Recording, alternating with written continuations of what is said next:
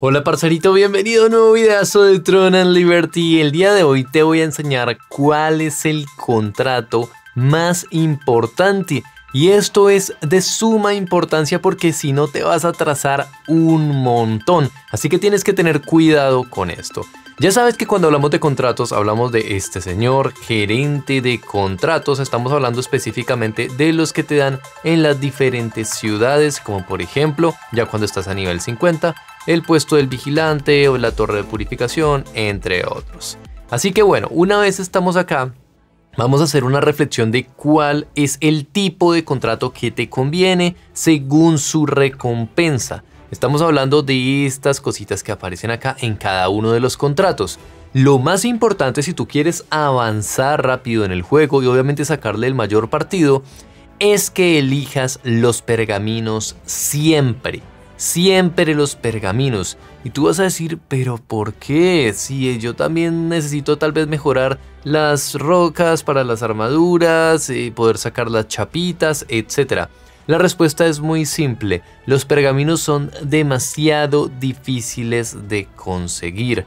Te diría que incluso con los mismos materiales que tú vas sacando en las mazmorras del abismo, es decir, de las del mundo abierto, en donde vas gastando de estas moneditas de aquí que yo tengo 2800 fichas de contrato abismal que vas a ir a gastar en mazmorras como Sileus o Cripta, ya a través de esas mazmorras tú vas teniendo un montón de que de cristales. Si te das cuenta, me voy acá al baúl quiero mostrarte ya en alrededor de 560 horas de juego. Creo que llevo 572 horas de juego con esta cuenta, en donde casi siempre he gastado mis fichas de contrato abismal. Quiero que te des cuenta de algo. Si te das cuenta aquí en el apartado de las roquitas, mira todas las pinches rocas que tengo. 49 épica, 1000 raras, hablando de las azules, de las rojas tengo 815 rojitas.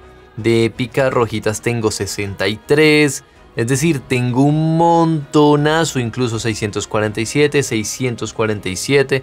Recuerda que esas piedritas sirven obviamente para poder fabricar lo que son las chapitas.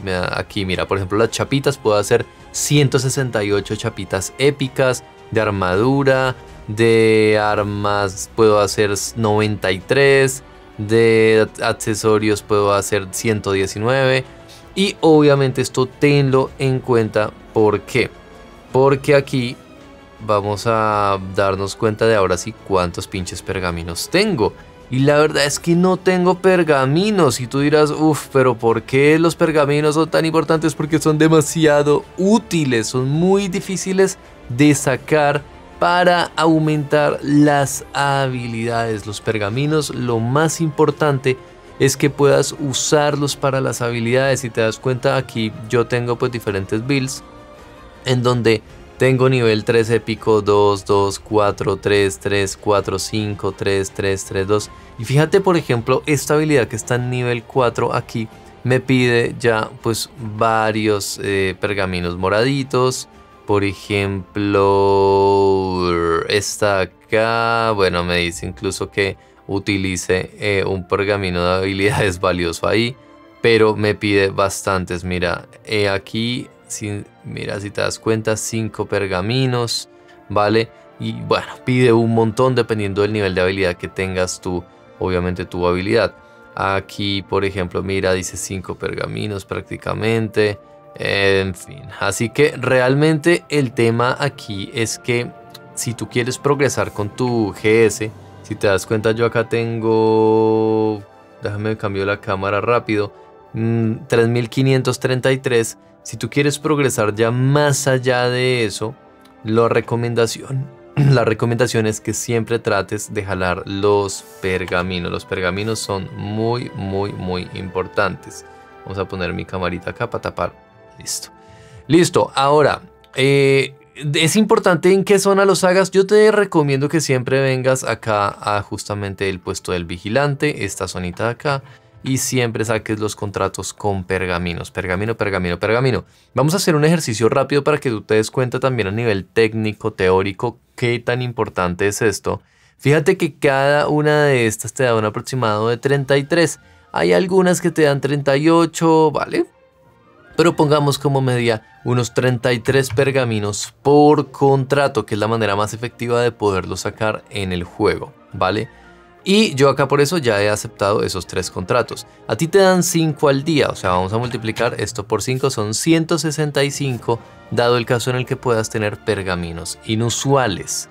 ¿Vale? Ahora, esos 165 pergaminos inusuales que como te dije anteriormente son los que tú podrías llegar a sacar en el día, si nos vamos acá a fabricar en habilidades pergaminos inusuales, que estos son los que nos dieron, 165, estos azulitos que nos alcanzan a ver, tenemos que crear pergaminos inusuales, eh, perdón, transformar los inusuales a los valiosos. Los valiosos nos piden 15. Listo, entonces esto lo vamos a dividir en 15 y vamos a poder solo 11 pergaminos valiosos. Solamente 11 pergaminitos al día. Obviamente tú puedes sacar más pergaminos en otras actividades, pero esta es la manera más efectiva. Las otras actividades son, por ejemplo, las mazmorras de mundo abierto como Sileus, Crypta y demás. Así que bueno, conclusión, podemos hacer 11 de estos al día, ¿cierto? Porque nos pide 15 pergaminos inusuales. Ahora, ¿cuánto nos pide un pinche libro épico de habilidades, ya sea pasivas o activas? Nos pide 5. Y bros, aquí es donde está la reflexión que ustedes, digamos, eh, van a poder hacer eh, de hecho, no son 5 los, únicamente los contratos que podemos hacer al día, son 10, ¿vale? Entonces multiplicamos esto por 2, perdón. son 10, 10 slots de contratos los que nos dan. Si tienes dudas sobre eso, simplemente te metes acá y aquí te vas a dar cuenta cada vez que se recargan tus fichitas de contrato. Pues obviamente ahí o simplemente cliqueando acá te vas a dar cuenta, mira.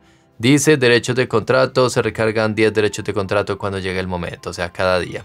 Así que bueno, volvamos a la parte teórica. Serían en este caso 22 pergaminitos morados. Listo. Y si nos vamos ahora sí, acá las habilidades cada uno usa 5. Así que en teoría podríamos estar creándonos 4 libros de habilidades para, digamos, poder gastar lo que nos dan en el día si usamos esos contratos. 4 solamente libritos de habilidades. Como te das cuenta, aquí yo tengo 13 pergaminos y solo puedo usar hacer dos porque me pide 5 pergaminos valiosos. Eso, amigo, es muy, muy, muy heavy metal. Tú, por ejemplo, tienes que seguir farmeando fuerte, ¿sí? Si puedes hacer solo 4 libritos en la semana, ¿cuántos puedes hacer? 28. Y 28 viene siendo lo necesario para subir una habilidad ya cuando está a nivel épico posiblemente a nivel 4 y capaz que el nivel 5 te falte, o sea, prácticamente es una semana para llevar una habilidad a nivel 4 o si ya la tienes en nivel 3 por ahí poderla llevar a nivel 5.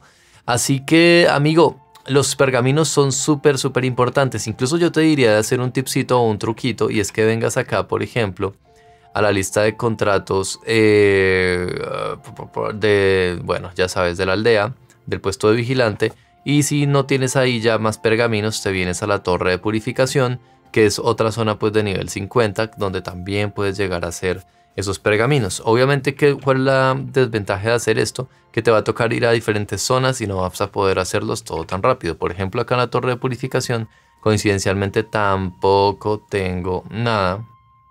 Pero podemos ir, por ejemplo, también a otra zona, como lo es el, por ejemplo, el Oasis. ¿Qué pasa si tú vas al Oasis a tratar de agarrar un contrato? Y este tema también es interesante porque el Oasis, aunque no sea una zona totalmente de nivel 50, también nos deja agarrar contraticos. Si se dan cuenta aquí, gerente de contratos.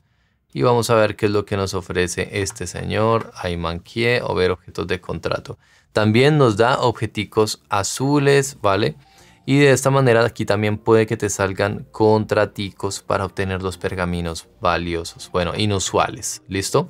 De esa manera, amigo, podrías llegar a corroborar en cada uno de esos vendedores de contratos para obtener los pergaminos. Ahora, obviamente, si te faltan roquitas, si te faltan chapitas, pues para mejorar un objeto, pues priorízalo, pero que sea algo momentáneo, que sea algo que tú puedes sacar las piedras necesarias para ese objeto y ya sigas otra vez con los pergaminos. Los pergaminos, mis queridos amigos, son el objeto más importante en ese sentido respecto a los contratos. Obviamente también si te sale la bolsita épica, agarra la bolsita épica. Eso no está en negociación. La bolsita épica también es súper, súper importante.